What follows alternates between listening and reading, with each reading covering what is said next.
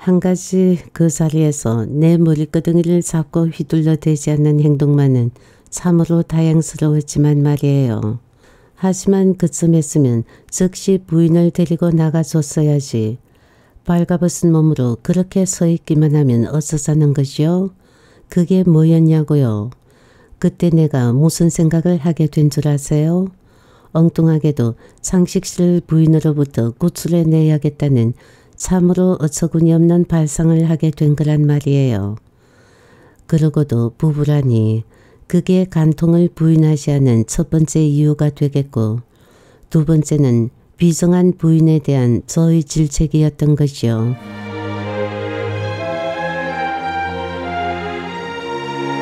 아름다운 선택 지연이 현경숙 영종도의 끝자락 왕산 위에서 내렸다.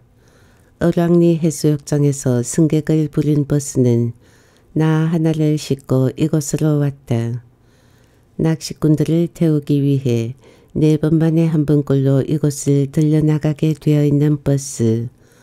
정해진 노선대로의 종점은 부두에서 어랑리 해수욕장까지만이다. 그러니 만일에 버스가 들어오지 못하게 되면 2km 정도 되는 어랑리 해수욕장까지 걸어 나가야 한다. 그런데 오늘은 어찌된 노릇인지 나 외엔 이곳으로 들어오는 사람이 없었다. 하긴 두 시가 넘은 이 시각에 낚시 배낭을 걸머지고 터덜터덜 나타날 작자는 아무도 없을 터이었다.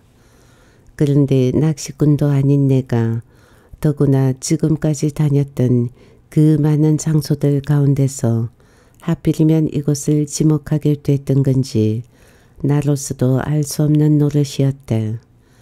다급한 김에 튀어나와진 말이라기엔 내 스스로도 나 자신에게 해명할 수 없는 희부엄한 안개 속 같은 심정이었다. 28일 오후에 이곳으로 나와 달라고 한 것도 내 일방적인 말이었지 그녀가 동의한 것도 아니었다. 그러니 그녀가 왔을지 안 왔을지 또는 오지 않았다면 올 것인지 아니올 것인지 그것조차도 가늠할 길이 없는 것이다. 지금껏 오후를 두세 시쯤으로 여겨온 건 순전히 나 혼자만의 시간 개념에 지나지 않을 것이니까 30분을 기준으로 네 번 만에 한 번 들려나가는 버스를 기다리자면 앞으로 두 시간은 더 있어야 한다. 기다린다고 해서 그녀가 다음번에 들어오는 버스로 들어올 것인지 그것도 확실하지가 않다. 그러니 기다린다는 자체가 막연한 노릇인 것이다. 나는 흰머리의 갈대밭에 흙먼지를 일으키며 달려나가는 버스의 뒷모습을 뒤로 하고 발길을 돌린다. 저 멀리 솔밭을 깔고 앉은 펑퍼짐한 안악의 엉덩이를 닮은 외딴 농가와 샛노란 감나무에게로 시선이 끌린다. 입 떨어진 감나무 가지마다 매달린 황금알들이 구름 한 점 없는 늦가을의 햇살을 물씬 빨아들이고 있는 모습이다. 빨갛게 물든 잎사귀와 새빨간 열매가 어우러진 밭 가장자리의 찔레 덤불도 활활 불이 타오르고 있다. 아쉬움의 손짓인 양 일렁이는 갈대밭들 지나 나는 외딴 농가 모퉁이의 언덕배기로 올라선다. 전에 어촌이었던 새 가구의 민박집과 방파제를 따라 흐르는 바다가 한눈에 내려다 보인다. 꼬리에 꼬리를 물고 달리기를 하는 트럭들, 신공항 건설로 물막이 공사가 한창이다. 그로 인해 바다와 섬들이 밀리고 깎여 살점이 뜯기고 팔다리가 떨어져 나가는 고통에 신음을 해대고 있는 것 같은 몰골들을 하고 있다. 언제 사라질지 모를 방파제의 모서리에 옹기종기 모여 앉은 낚시꾼들. 그들은 이곳을 뭉개버리면 어디로 가라는 것이냐며 물러나지 않을 기세로 시위를 벌이고 있는 모습이다. 사라져가는 모든 것을 담아두려 한다는 그녀의 말처럼 나 또한 눈앞에서 사라져가고 있는 천연의 자연을 바라보자니 아쉽고 안타깝기 그지없다. 나는 민박촌을 지나 임시로 만들어진 길을 따라 방파제로 올라선다. 저긴 돌산을 갉아먹으다 토해 놓은 듯한 방파제의 앞섭에 오독하니 앉아있는 그녀.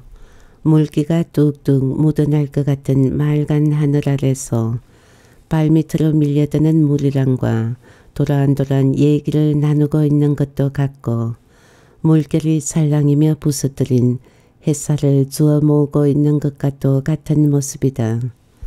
물비늘의 일령이므로 바다는 온통 카메라 플래시가 터지듯 반짝여 댄다. 그 눈부심 속에서 작업할 때의 차림새가 아닌 그녀는 자연의 일부이듯 여유롭게가 그지없어 보인다. 그녀가 눈을 들어 하늘을 올려다 본다. 둥그렇게 붉어서 나온 방파제의 오른쪽 끝자락에서 바다를 응시하고 있는 낚시꾼들의 모습과 분진을 일으키며 줄다름 치고 있는 차량들과 해수면을 차고 오르는 바다새들과 수평선 끝자락으로 고불고불 이어서 나간 바닷물과 온전하게 하나가 된 모습이다.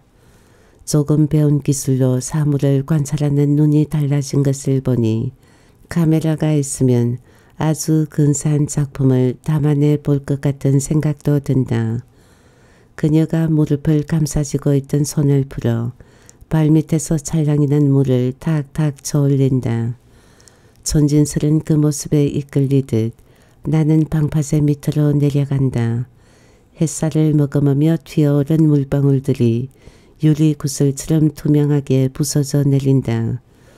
내가 한동안 지켜보고 있는데도 그녀는 나를 알아차리지 못한 채 물방울만 퉁겨 올리고 있다. 천진난만해 보이긴 한데 그녀답지 않은 모습이다. 와 주셨군요. 나는 한참을 망설이던 끝에 그녀 곁으로 다가가서 말을 붙인다. 오라고 하지 않았던가요? 그녀는 나의 출연에 전혀 놀라는 기색 없이 퉁명스럽게 쏘아붙인다. 가시도 친 말이긴 하지만 비로소 나는 그녀가 그녀다운 모습으로 돌아온 것 같아 다소 긴장이 풀린다. 일찍 왔느냐는 나의 물음에 어제 왔다는 그녀의 대답. 순간 당황했으나 그녀 혼자 샀을 것이고 또 그녀는 그러고도 남을 여자라 싶어 별다른 생각은 들지 않는다. 무슨 일이 그렇게 이상 야릇한지 도무지 이해할 수가 없어요. 그러고 보면 댁은 참 편리한 사람이에요. 염치가 없어 쥐구멍에라도 들어가고 싶은 심정으로 죄송했다는 나의 말에 화살촉처럼 쏘아 붙여대는 그녀. 효진 씨와 상의도 없이 멋대로 행동해버려 법정에까지 서게 해버렸으니 그럼에도 불구하고 효진 씨는 왜 있지도 않은 사실을 부인하지 않았던 겁니까? 나로서는 그것이 이해되지 않은 궁금증이었습니다. 덕분에 자초지종을 털어놓을 수 있게 되긴 했지만요. 자초지종을 털어놓지 않았으면요. 또 털어놓은 결과는 어찌 된 거지요? 전곡을 찌르고 드는 그녀의 질문에 나는 전전긍긍 대꾸해야 할 말을 찾지 못한다. 또 집요하게 따져 묻는 의도가 무엇인지 감을 잡을 수가 없다. 맑은 하늘에 날벼락 같은 사건으로 법정에까지 서게 되었지만 지금에 와서 보니까 제 태도는 일종의 객기 같은 것이었더라고요. 지금 그 말이 객기는 아닐까. 그녀는 재판정에서 판사와 검사에게 당돌하리만치 당당했다. 그녀에게 다른 어떤 의도가 있지 않느냐는 의구심이 불러일으켜질 정도로 그녀를 만난 건 작년 가을이다. 주말마다 올라갔던 북한산에서였다. 아내의 달라진 태도에 못 견뎌 홀로 오르기 시작한 산행이었다. 등산복 차림의 그녀는 가을이 물어있고 있는 북한산의 정릉 골짜기에서 카메라의 렌즈를 맞춰가며 셔틀을 눌러대고 있었다. 카메라 장비며 노련한 그녀의 동작으로 보아 취미 삼아 사진을 찍고 있는 것 같지는 않았다. 또한 작업에 몰두하고 있는 그녀의 모습이 그처럼 싱그러워 보일 수가 없었다. 그때 나는 내 마음 하나 다스리지 못해 방황하는 주제에 싱그러움이 어쩌고 하는 여유를 부릴 소지가 못 되었다. 하지만 나는 곳곳으로 맞춰가며 셔터를 눌러대는 그녀의 모습에 넋을 잃고 있었다. 나는 작업이 끝나기를 기다렸다가 사진작가 아니냐고 물었대. 아유 깜짝이야. 기척이나 좀 하고 다니세요. 자신의 일에 몰두하느라 내가 있는 것을 몰랐던 그녀가 나의 그 말에 화들짝 놀라워하며 쏘아붙였대. 그러고서야 그녀는 내게 눈길을 주었다. 쌍꺼풀이 지지 않은 가느스름한 눈매가 친근감을 주었다. 그렇다고 결코 만만해 보이지는 않았다. 단발의 생머리가 유난히 찰랑거렸는데 활달한 성격이 그대로 드러나 보여지고 있었다. 그러시는 댁의 직업은 뭐냐고 던져오는 질문 또한 탁구공처럼 통통 튀었다. 건달 그녀의 당당한 태도 앞에 나는 회사원이라는 말이 나오지 않아 피식 웃고 말았다. 아마도 그녀는 짐작가는 대로 내뱉어 버린 말 같았다. 그러다가 이내 실수였다 싶었는지 흙인 나를 쳐다보고는 쌩긋이 웃었다. 그러다가 머리를 살짝 수그렸는데 멋쩍어 하는 태도 같았다. 그러나 그것도 잠깐 그녀는 이내 카메라를 들여다보며 바위와 나무를 배경으로 렌즈를 맞춰 나갔다. 일에 대한 집념이 대단해 보였다. 활달하고 포용력도 있어 보였다. 스스럼 없이 받아넘기는 말재간에서도 보통이 아닐 것으로 보여졌다. 답답하게 사셨군요. 카메라의 위치를 옮기며 하는 그녀의 말에 나는 대꾸를 하지 못했다.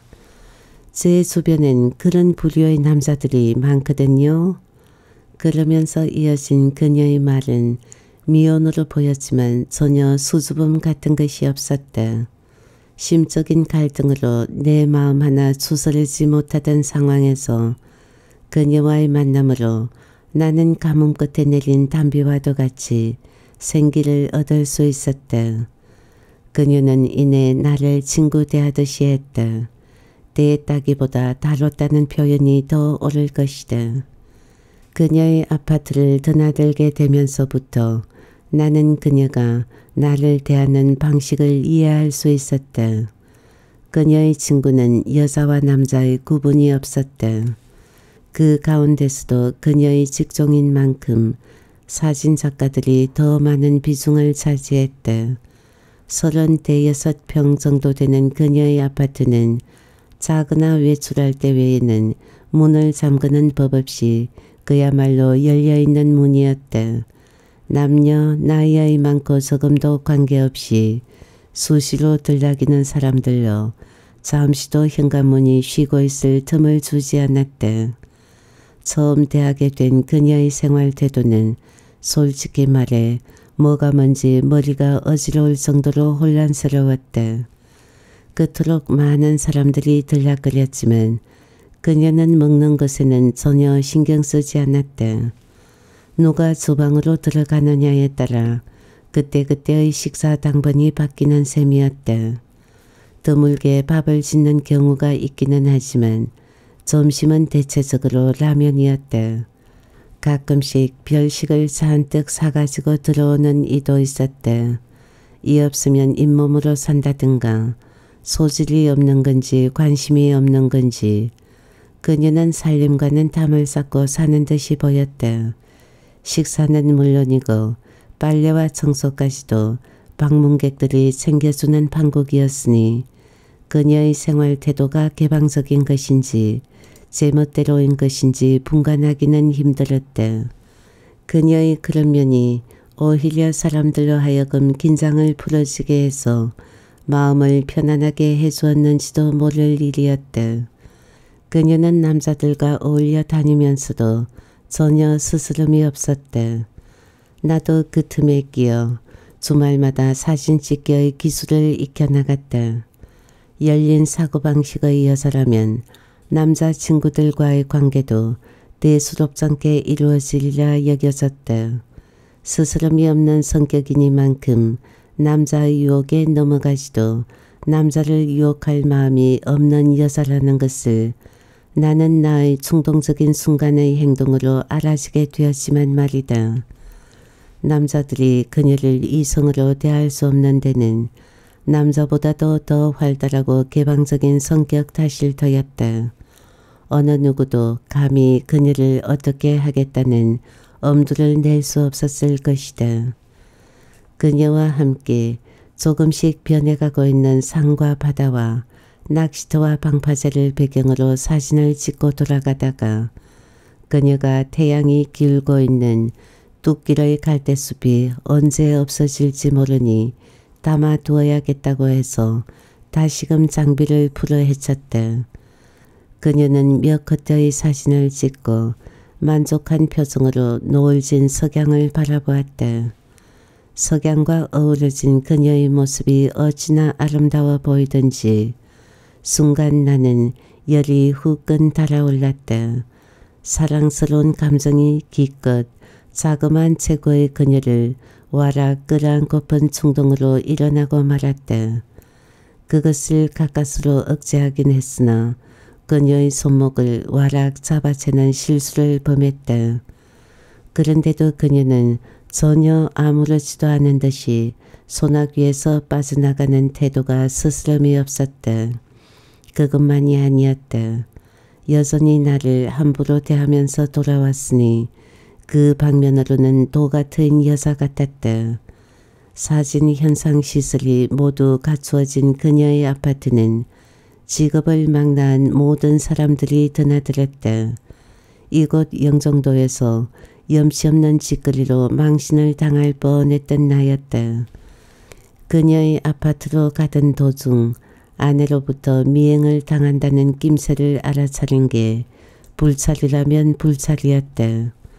아내의 미행을 모르는 채 나는 태연하게 효진 씨를 따라 아파트로 들어갔다. 나의 계산된 행동을 그녀가 알아챌 리 없었다. 오히려 마무리 작업에 도움이 되어줄 것으로 생각했을 것이다. 그녀는 우선 저녁부터 해결하고 나서 사진 인화에 들어가자며 가스레인지 위에 냄비부터 올려놓았다. 야외 촬영을 나간다는 것을 알고들 있는 터라 그날 저녁엔 사람들이 없었다. 그녀가 보기에 나는 부엌으로 들어갈 사람으로 보이지 않았던지 아니면 밖에서 먹고 들어올 걸 그랬다는 것으로 보아 배가 몹시 고팠던지 아무튼 나는 그녀가 가스레인지 위에 냄비를 올려놓고 안방으로 들어가는 것을 보면서 화장실로 들어갔다.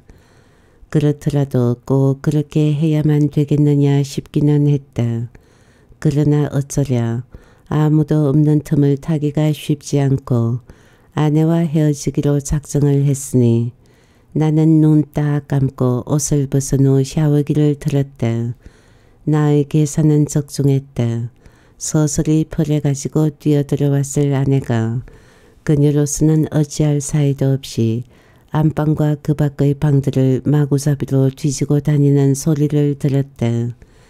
아내는 내가 어디에서도 눈에 띄지 않았는지 화장실로 들이닥쳤다. 그 기척을 느끼면서도 나는 여전히 샤워기로 알몸에 물을 뒤집어 쓰고 있었다. 화장실 앞에서 외치는 아내의 악다구니에 혼비백산한 모습으로 달려온 그녀는 나의 몰골에 그만 벌어진 입을 다물 줄 몰라 했다. 잘 논다 잘 놀아. 계집년은 안방에서 옷 주워 입고 사내 놈은 씻고 잘한다 잘해. 설마가 사람 잡는다더니 기가 막혀 정말. 이 배신자야. 내 놈이 감히 나한테 이럴 수 있어? 그동안 내가 겪은 고통이 어떤 것이었는데 누구 때문에 그 고통을 당해야 했는데 그런 나한테 기껏 해준다는 것이 이거야? 뭐 한 놈이 뭐 한다더니 내 놈이 감히 딴짓거리를 해? 바람을 피워서 자식을 낳을 주제가 된다면 또 모르겠다. 자식? 흥, 개가 웃겠다, 개가. 이 더러운 인간아, 내 놈하고 살아온 내 인생이 불쌍하다. 이렇게 됐으니 차라리 너 같은 놈한테 눈꽃만한 미련 가질 필요가 없어서 오히려 잘 되었는지도 모르겠다.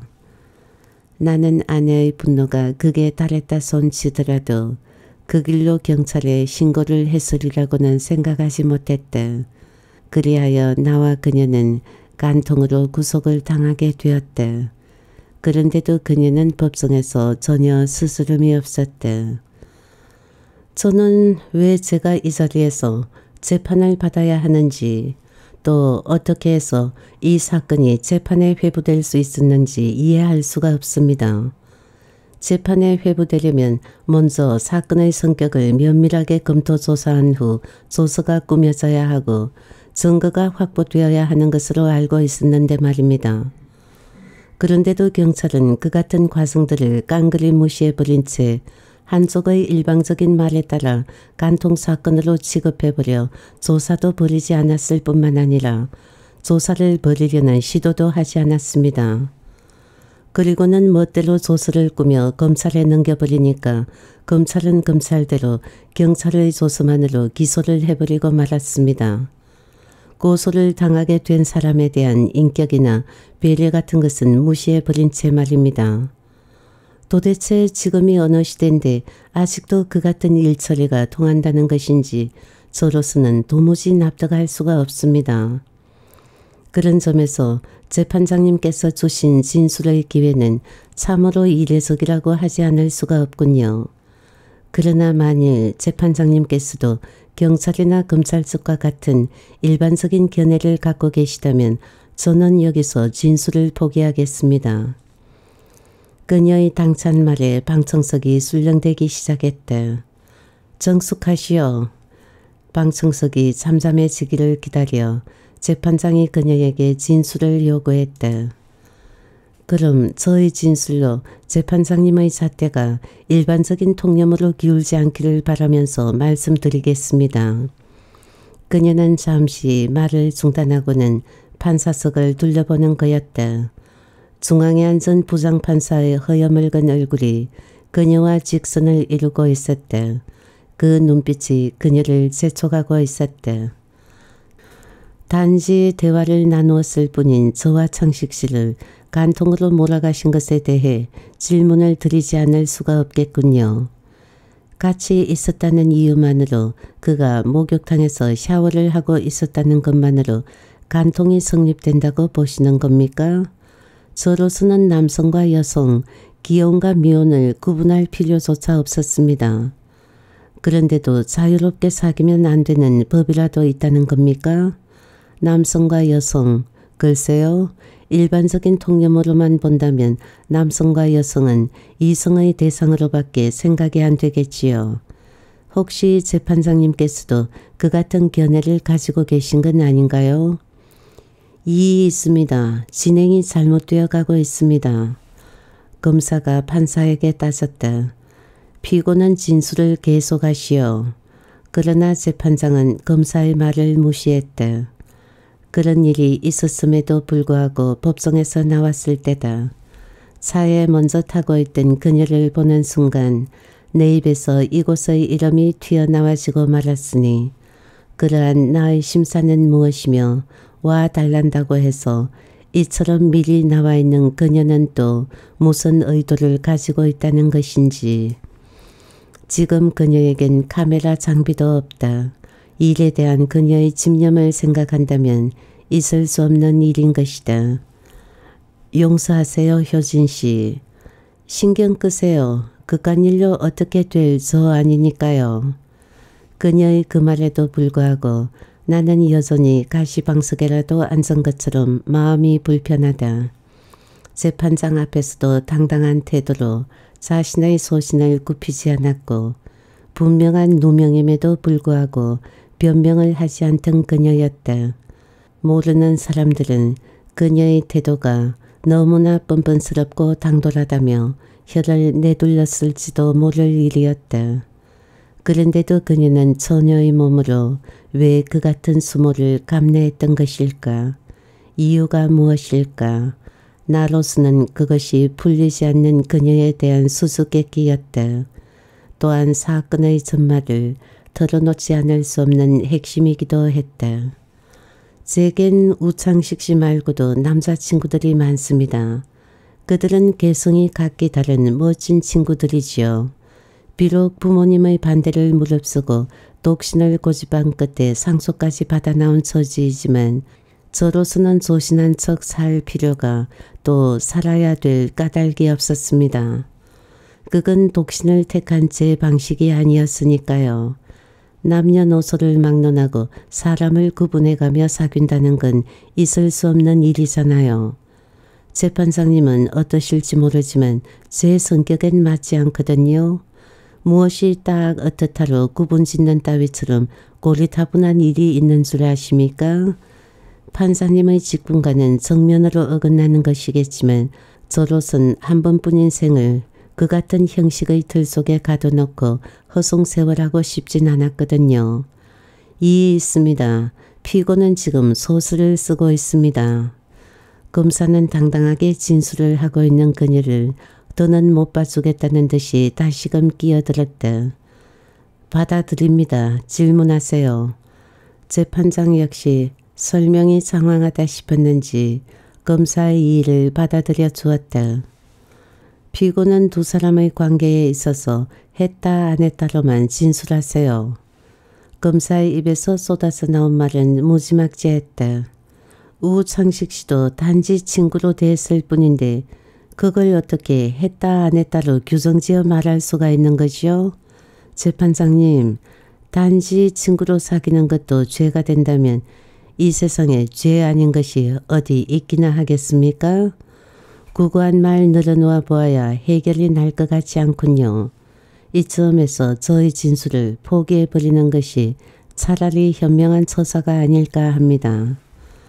처음부터 누명을 벗으려거나 처녀로서 상실된 명예를 회복하려는 것이 아니었던 그녀는 검사의 지나치다 싶은 태도에 발끈 화를 내고는 입을 다물어 버렸다. 여기가 무슨 웅변 대회상인 줄 알아요? 여긴 죄의 여부를 가리는 재판장이란 말이요. 다시 묻겠어요. 했다 안 했다로만 짧게 대답하세요. 피고 우창식과 성관계를 가졌어요 안 가졌어요? 검사가 노골적으로 다그쳐 물었다. 했다 하더라도 전 친구 이상으로 여기지 않습니다. 그녀는 여전히 검사를 향해 애매모호한 말로서 약을 올리듯 쏘아붙였다. 그녀를 바라보는 검사의 눈매가 날카롭게 치켜 올라갔다. 그녀는 그 눈매를 비웃기라도 하듯 피식 웃음을 터뜨렸다. 잊지도 않은 사실을 누명을 벗으려기는커녕 당당하게 검사와 맞서며 당돌했던 태도와 달리 지금은 무슨 생각인가로 골똘해져 20여 분이 지나도록 바다만 바라보고 있을 뿐이다. 그러다가 갑자기 웃어젖히는 그녀. 차라리 그녀로부터 따귀를 맞는 편이 낫겠다 싶으리만치 마음이 편치 않았다. 법정에서도 그랬다. 재판장님, 제가 말씀 다 드리겠습니다. 내가 자리에서 불쑥 일어서자 판사들과 검사와 변호사, 그들의 의아한 눈길이 내게로 쏠렸다. 먼저 효진 씨에게 사과부터 해야겠습니다. 사실 그날의 일은 제가 꾸민 제 사사극이었을 뿐 효진 씨와는 아무런 관련이 없습니다. 효진 씨는 지금도 왜 제가 그 같은 일을 벌였는지 영문을 모를 겁니다. 얼마 전부터 저는 아내가 저의 뒤를 밟는다는 사실을 알게 되었습니다. 그렇게 된 발단은 저와 아내와의 사이에 아이가 없는 데서 비롯된 것이었습니다. 결혼한 지 8년이 지나도록 저희 부부에게는 아이가 생기지 않았습니다. 그러니 그동안 무슨 짓을 안 해봤겠습니까? 독자 아들을 둔 부모님의 성화는 또 어떠했을 것입니까? 그로 인해 아내가 받았을 심적 고통도 이만저만이 아니었습니다. 자아가 되었든 타이가 되었든 아이를 갖는 일이라면 안 해본 것이 없을 정도인 아내가 해볼 대로 해보다가 안 되니까 둘이 함께 정밀검사를 받아보자고 했습니다. 검사 결과 아이를 가질 수 없는 원인은 뜻밖에도 저에게 있는 것으로 밝혀졌습니다. 무증자증이라는 병명이었습니다.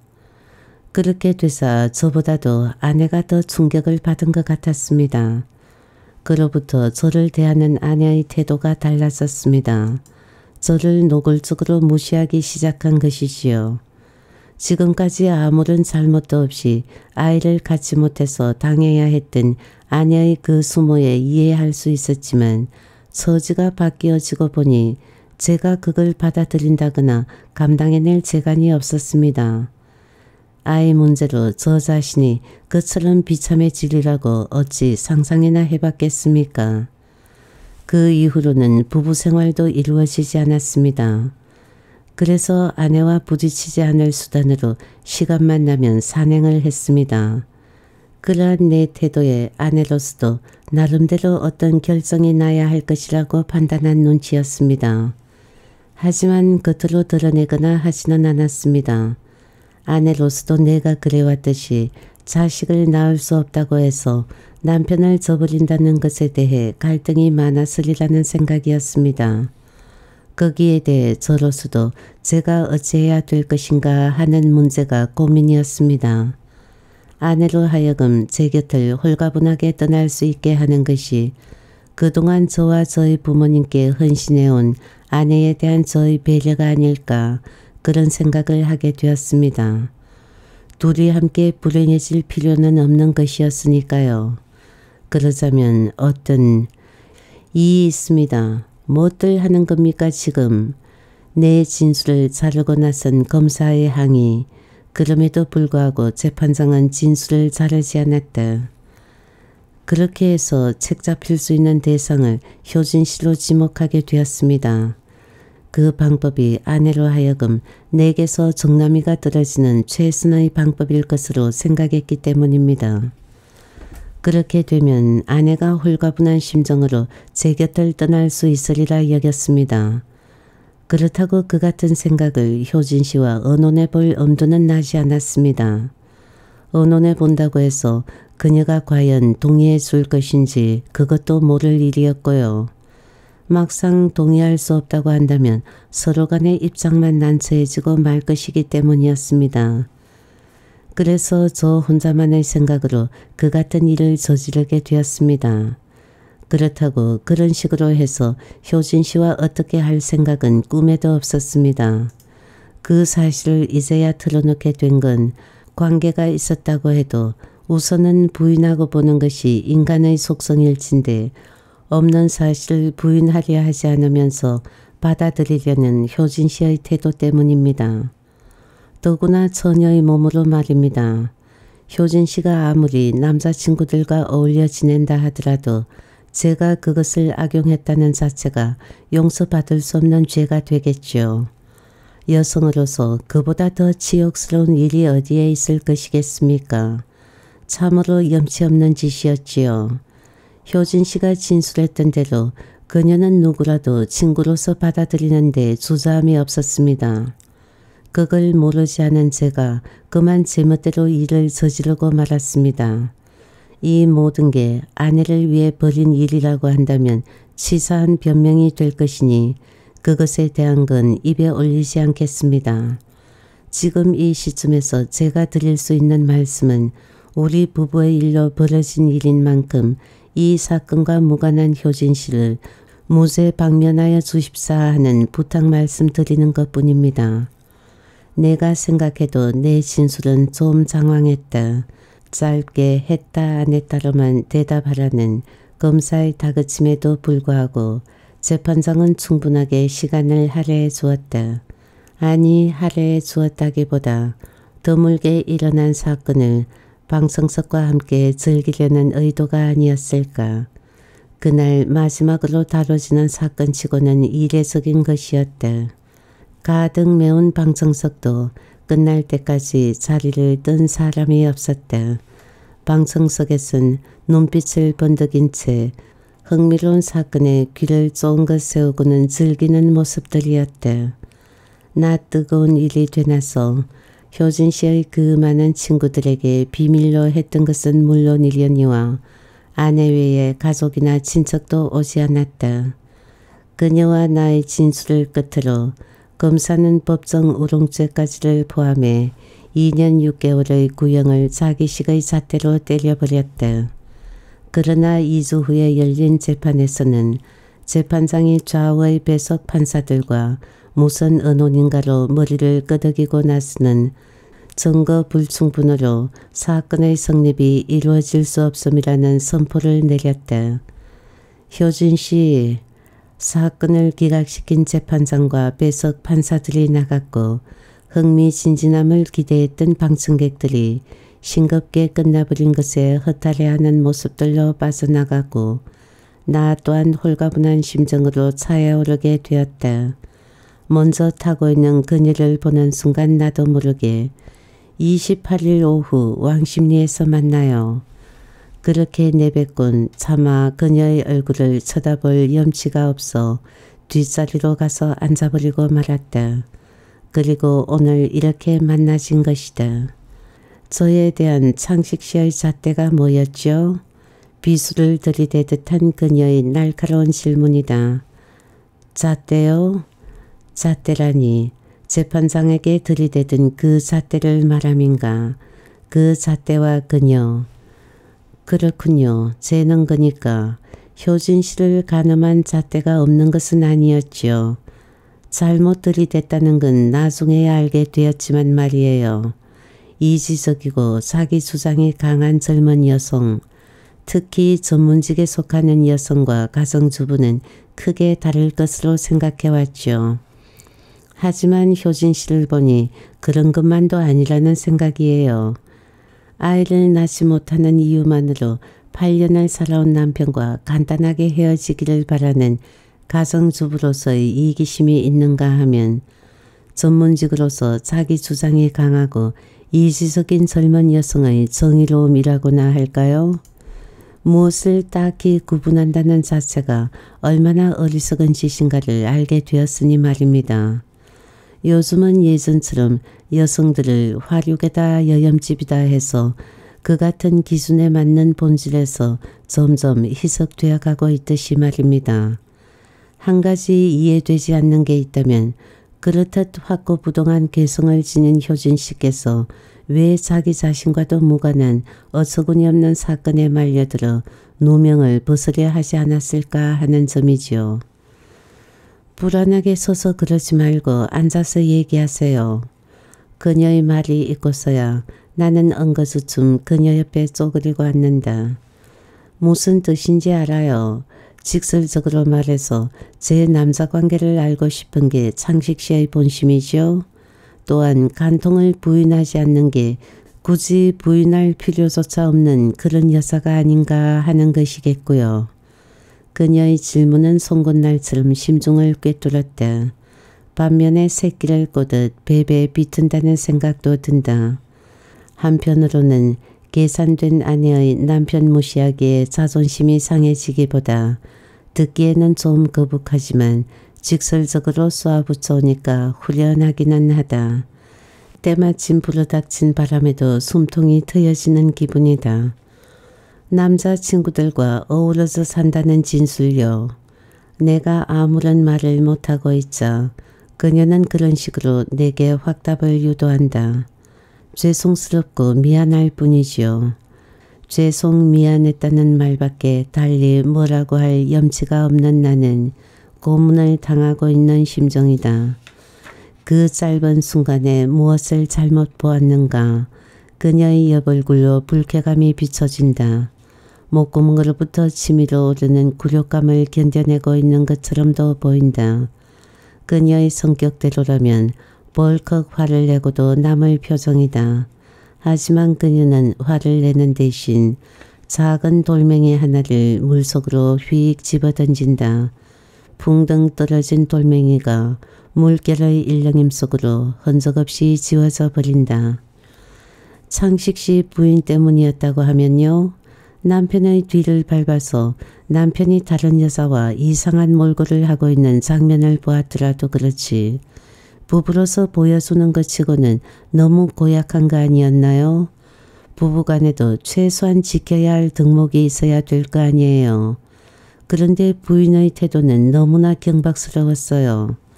그처럼 기본적인 신의도 없이 사는 부부가 어찌 제대로 된 부부겠어요?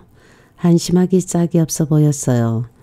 한 가지 그 자리에서 내 머리끄덩이를 잡고 휘둘러 대지 않는 행동만은 참으로 다양스러웠지만 말이에요.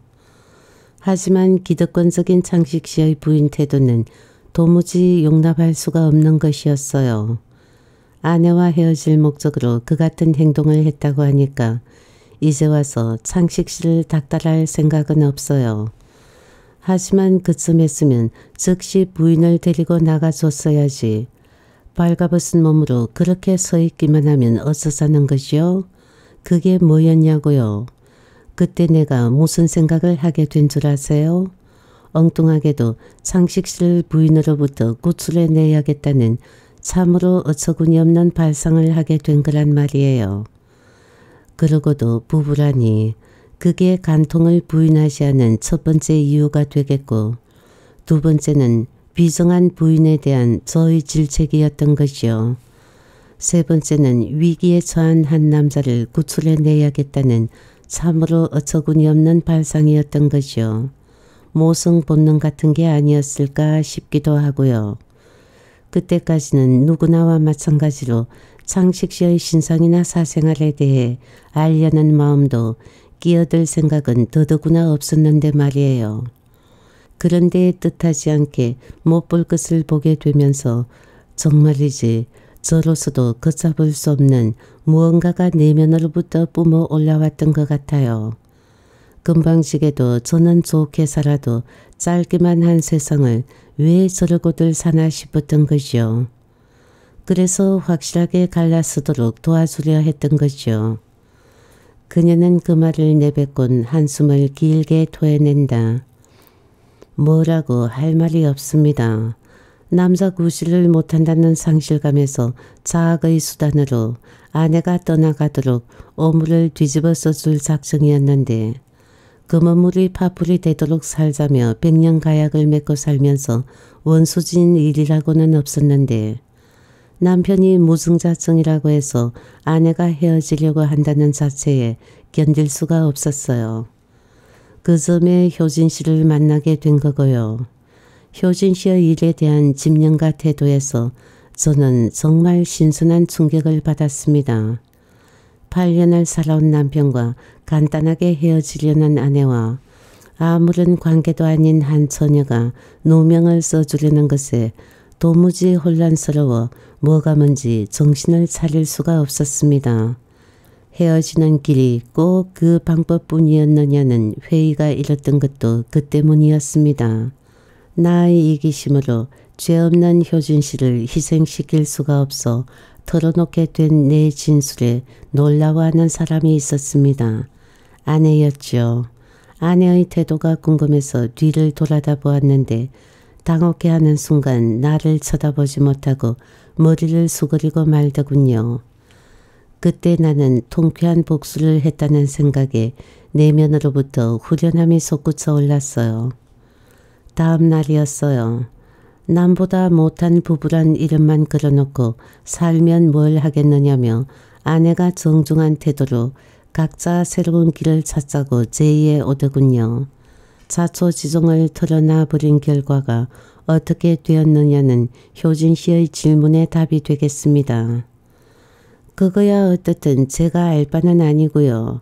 요는 저에 대한 창식 씨의 잣대가 뭐였길래 제게 그 같은 행동을 할 수 있었는지 그 점이 알고 싶다고요. 저로서는 그 점이 아주 중요하단 말입니다.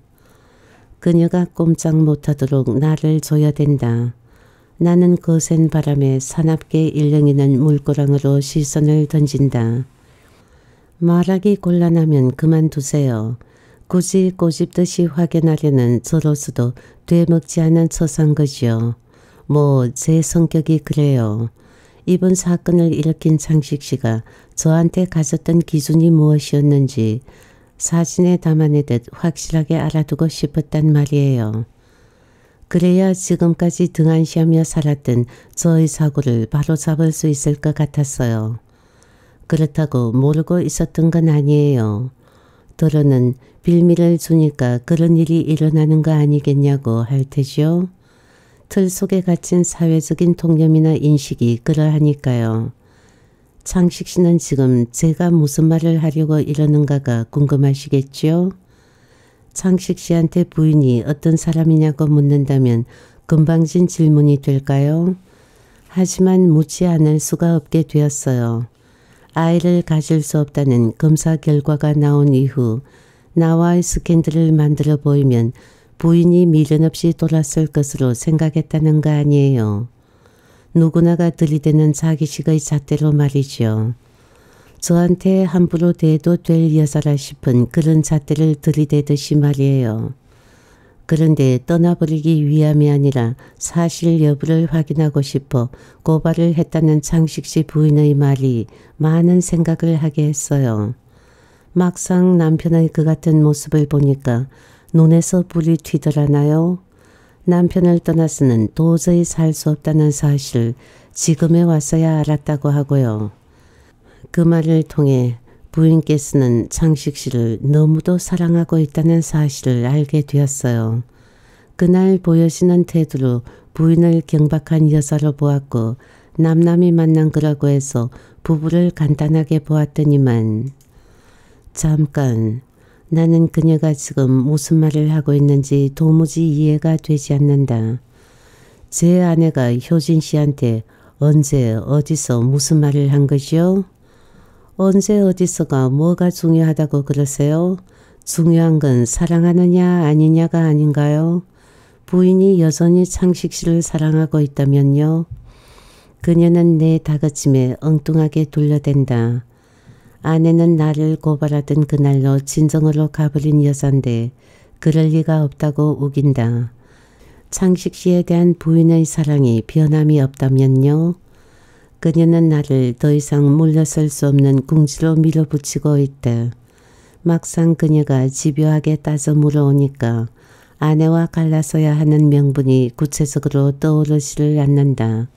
그렇다. 이런 일이 있기 전까지의 아내는 외며느리로서 시부모를 잘 받들어 효부 소리를 들었다. 나 또한 그 점이 무엇보다 고마웠다. 부지런하고 살림도 잘했다. 이번 일을 제외하고는 잘못한 일이 없는 착한 여자였다. 알겠어요. 일어나세요. 그녀는 무슨 결심이 선 사람처럼 먼저 자리를 털고 일어선다. 해는 벌써 파먹힌 산중턱 뒤로 몸을 숨겼고 방파제 모서리에 옹기종기 모여있던 낚시꾼들도 자리를 떴는지 보이지 않는다. 조금 전에 알겠다고 한 그 말이 무슨 뜻이고 지금 어딜 가려는 것이냐고 물어도 그녀는 묵묵히 걷고만 있다. 마지못해 나도 붉은 물감이 흩뿌려진 듯한 노을 속으로 빨려들 듯 걷는다. 수문 옆 방파제의 끝머리를 지나쳤을 때다. 말하려다가 창식 씨가 끼어드는 바람에 끊기고 말았네. 부부 사이라는 게 말로는 설명이 안 되는 부분들이 많은 것 같더라고요. 제 생각은 그랬어요. 아니다 싶으면 무자르듯 돌아서 버리면 그만 아니냐 했거든요. 그런데 보니까 그렇게 간단한 것 같지가 않더라고요. 시줄과 날줄이 짜여서 부부라는 동화줄을 만들듯 세월의 역사까지 엮여졌는지 말이에요. 미운성, 고운성, 애증 뭐 그런 것들이 엮여진 것들이 되겠죠. 저는 부부들이라는 게 한심스러워 보여질 때가 많았거든요.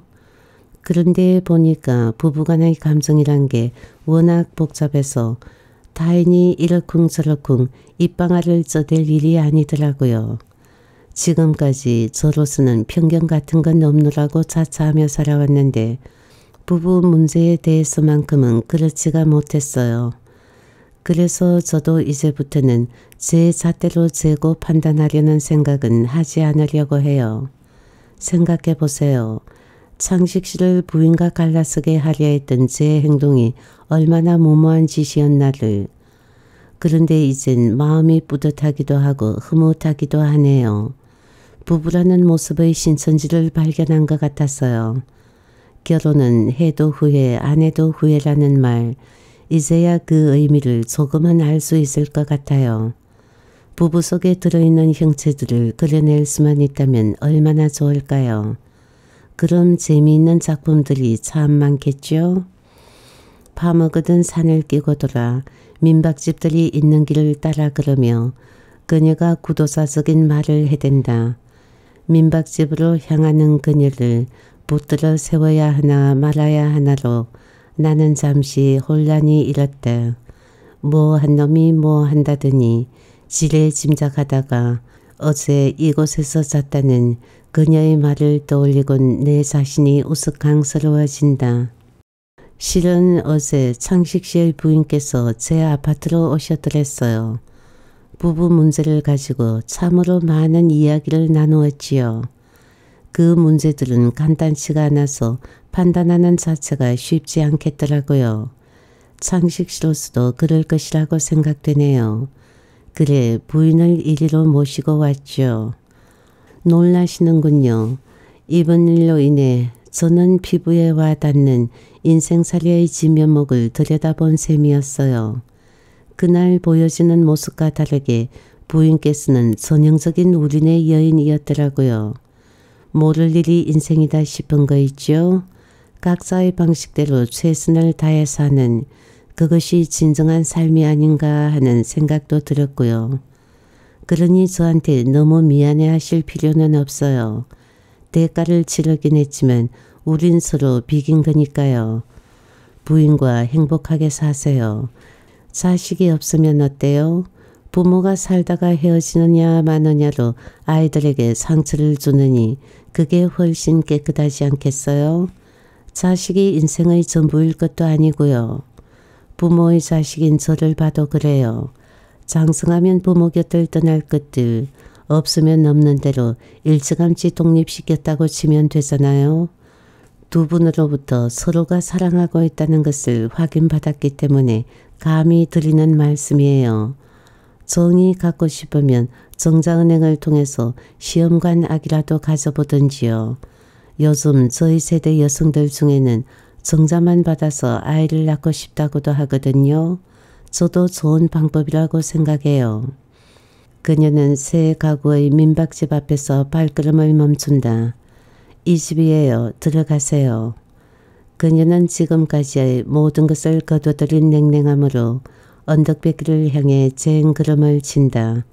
그러다가 뒤돌아서선 그런데 어째 기분이 이리 묘하지요?